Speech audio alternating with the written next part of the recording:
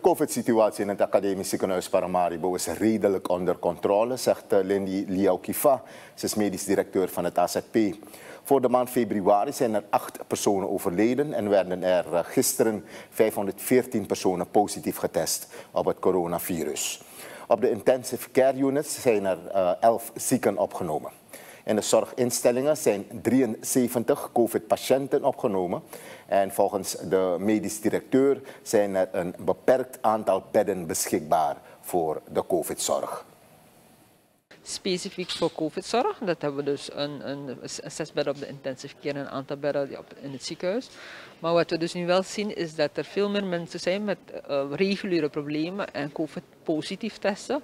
Zonder dat ze uh, daar primair voor in aanmerking. Sommige mensen hebben niet eens klachten. Dus wat we nu proberen te doen is om de zorg zo goed als mogelijk binnen de reguliere zorg door te leveren. Uh, en dan toch wel rekening houden met het feit dat de mensen COVID-positief zijn. Dus we proberen de COVID-zorg en de reguliere zorg op dit moment uh, zo goed als mogelijk uh, te integreren. Zodat we ook weer over zullen kunnen gaan naar normaal. Want ook dat zal een keer moeten gebeuren. Dat we rekening houden met, met COVID, toch de reguliere zorg uh, door zullen moeten leveren. Ik bedoel, mensen krijgen nog steeds verkeersongevallen en ze krijgen nog steeds een hartinfarct en ze krijgen nog steeds een beroerte. Dus die zorg moet gewoon doorgaan, met of zonder COVID.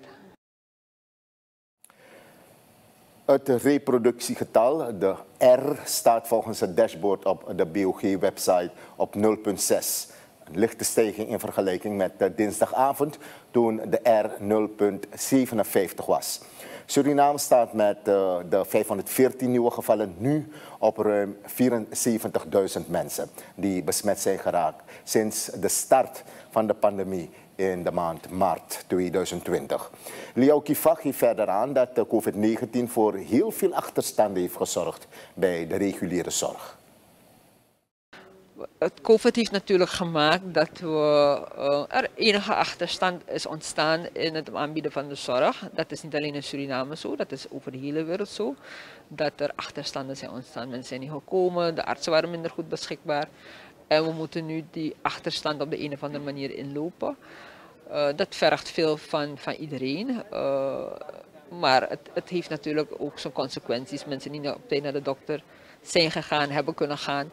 Um, en, dat, en dat zijn uh, dingen die, waar we nu naar moeten kijken. Niet alleen in Suriname, over de hele wereld zien we dat dat soort dingen uh, op een gegeven moment parten spelen.